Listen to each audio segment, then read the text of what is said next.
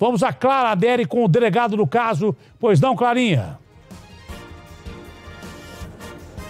É isso, Datena. Tudo é possível. A Polícia Civil do Rio não descarta essa possibilidade. E agora, duas metralhadoras .50 foram encontradas e a gente fala direto aqui da cidade da polícia, inclusive com o doutor Rodrigo Coelho, titular do DRE, que foi responsável por encontrar essas armas. Doutor, boa tarde. Queria que você falasse um pouquinho para a gente como é que foi esse monitoramento também e aonde as armas foram localizadas.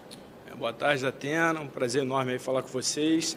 É, esse trabalho começa antes da primeira apreensão, que deve ter cerca de duas semanas é, junto com a inteligência do Exército e a nossa subsecretaria de inteligência, é, esse intercâmbio de informações, a gente conseguiu, num primeiro momento, recuperar aquelas oito metralhadoras, né, 4.50 e, e quatro MAGs.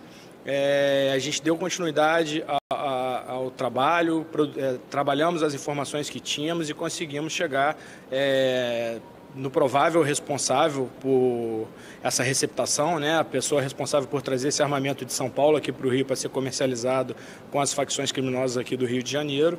E a gente inicia é, uma asfixia no entorno familiar dele e começa começamos né, incomodá-lo, bater todos os dias nos seus endereços, até que conseguimos a informação de que ele teria vindo de São Paulo para o Rio é, no início dessa semana.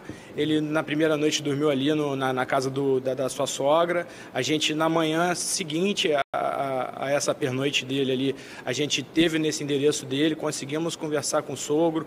É, o sogro foi intimado a prestar esclarecimentos aqui na delegacia e ele muito né, com, com, essa, esse cerco que estava sendo feito. Ele foge, a princípio, porque as segundo informações que temos, para um hotel na Barra da Tijuca.